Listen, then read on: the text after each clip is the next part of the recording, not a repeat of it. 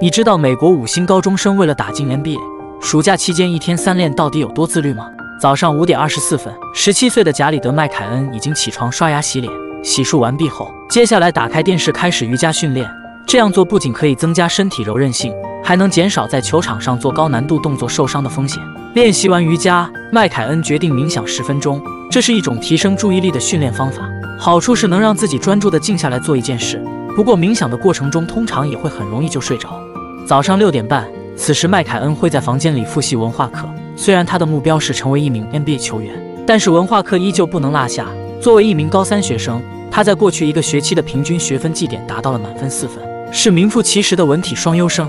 早上七点半，麦凯恩简单吃过早餐后，便要开始整理今天要用的比赛装备。由于每天都要进行多轮训练活动，因此运动服必须多准备几件。接下来，母亲会开车送麦凯恩到球馆进行篮球训练。早上八点。麦凯恩进去球馆后，首先进行各种运球训练，热热身。接下来和队友们开始五 v 五对抗训练。身高一米九一、体重八十八公斤的麦凯恩司职得分后卫。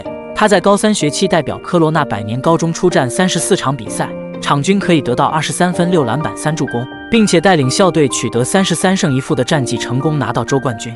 经过三个小时的训练，上午十一点，麦凯恩的母亲开车来接他回家。在此期间，麦凯恩拿起手机回复网友信息。作为一名百万级粉丝的视频博主，他经常发布自己的跳舞视频到网络上，而网友们给他起了个绰号叫“魔仙哥”。回到家的麦凯恩吃完午饭便会简单休息一个小时。下午两点半，麦凯恩来到户外训练场，开始又苦又累的体能训练。当然，这个环节不仅仅是盲目撸铁，还要锻炼身体节奏性。只见他在教练的指导下，有条不紊地重复着各项拉伸动作。户外练完，又到室内继续练。九十分钟的体能课必须把各项训练动作都安排到位。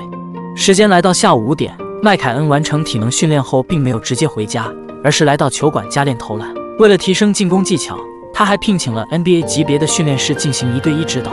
虽然价格昂贵，但为了打进 NBA，这方面的投资也是必不可少的。晚上七点，回到家的麦凯恩第一时间就是洗了个澡，然后把今天穿过的脏衣服放到洗衣机清洗。与此同时，母亲也给他准备好了晚饭。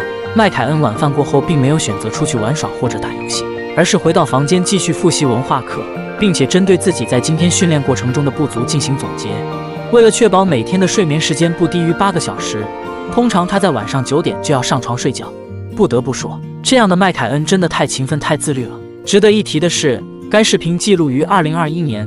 麦凯恩在二零二二年三月份宣布了他对杜克大学的承诺，他将会成为杜克兰魔鬼队二零二三届的一员。作为球迷，我们也祝愿麦凯恩可以在 NCAA 的赛场继续发光发热。